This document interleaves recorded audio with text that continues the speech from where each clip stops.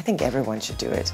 I don't know why everyone doesn't do it. Hey, I've had my day in the sun. I was 20 once, and now I'm 42. Whatever. My doctor says it's enough. Enough. Add more. It makes you look less troubled. Why try to deny it? And if you look less troubled, oftentimes you act less troubled. All these women that sit there and lie about, oh, I've never done Botox, I've never done Botox, oh, I've never done my lips. Should I've done my lips? I've stuffed as much Botox as I can get in there. Who cares? Look at me. I look 90 if I didn't have all this Botox in my face.